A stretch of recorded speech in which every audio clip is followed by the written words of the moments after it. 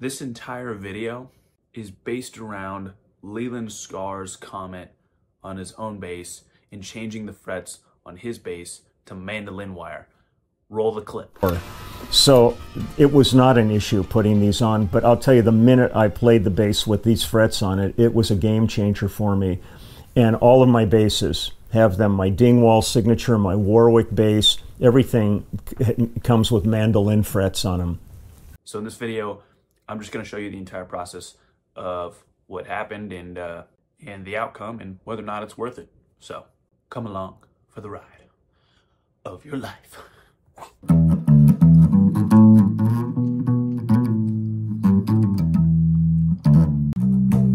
I want you to really pay attention to like the fret size.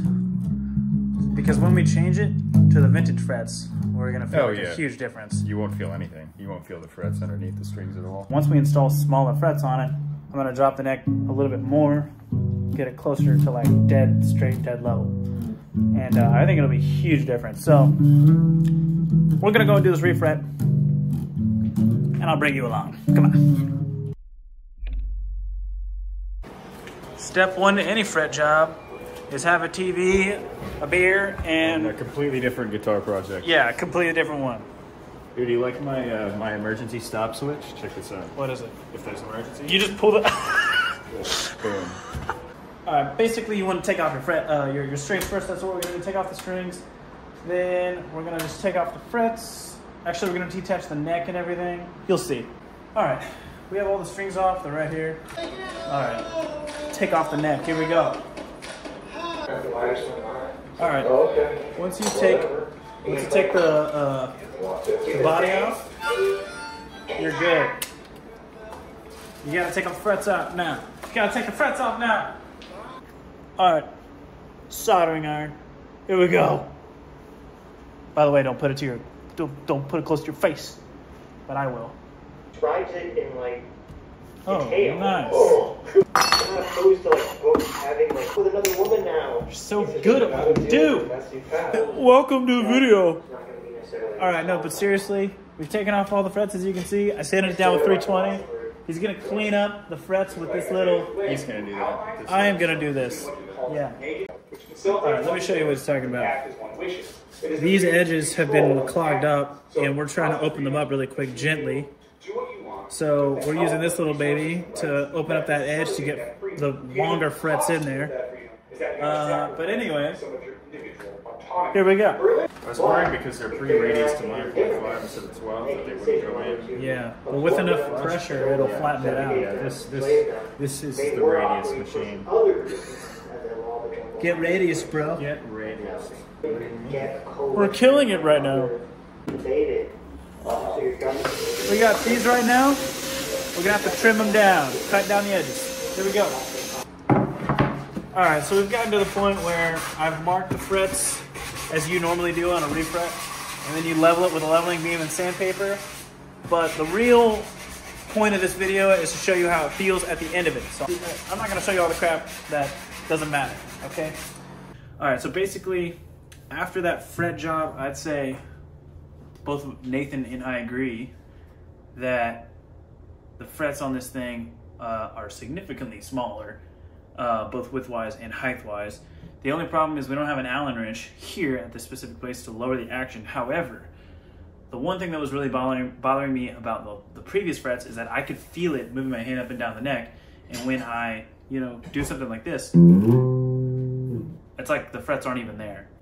Uh, with the last frets, it- they were so thick that I just, it was so uncomfortable to hold and my fingers would be touching the ends of the frets and my, my hand would get worn out, all, all sorts of things like that. So, so when you see these other videos out there that are going, oh man, make your bass play t- 10 times better, 10 times faster, all this stuff, it, you know, it's just clickbait, okay?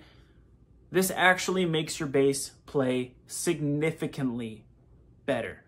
Let me explain something that's actually going on here. I'll, I'll show a picture of it right now, which is that the frets that I used to have on this bass were a lot thicker than these. These are Fender vintage frets, uh, right on Amazon. Uh, they're normally found on old Tellys, Strats, um, so old guitars like that. Um, but when I look up what standard bass fret wire is, it is 1 point, 1.15 millimeters tall. And that's just from where it's flat all the way up to the crown. So now this fret wire is actually a little over one millimeter tall. Now the width is actually even more of a difference. So the width of standard bass fret wire is actually 2.65 millimeters, and this fret wire is actually close to two millimeters.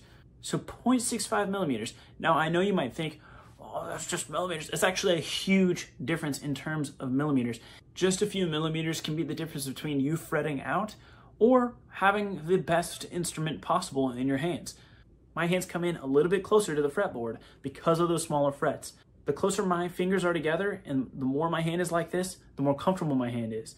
So not only is the playability better in my opinion, it's also how comfortable I am, which also improves how confident I'm gonna play. If you wanna make your bass actually better, get a refret, make, get some small frets. Because big old fat bass frets don't work. Do they? They sure don't. No, they don't. So stop it. Get some help. So, change those frets. Get out of here! No one wants you here. And by the way, to that guy who said a comment in my last video, uh, the most recent video about this guitar, uh, the guy who said, You can tell he's a guitar player because he's playing with his thumb. Well, I'm not playing with my thumb anymore, am I? But seriously though, thank you, because now I've I have totally committed myself to only playing with these two fingers. Because peace, man. Bye. Bye. Get leave. But also subscribe, like, leave a comment. But I love you. Yeah, but leave. Get out. Stop. Get off of YouTube. But just watch my stuff. No one else's. But if not, get off. All right. subscribe. Subscribe. Okay.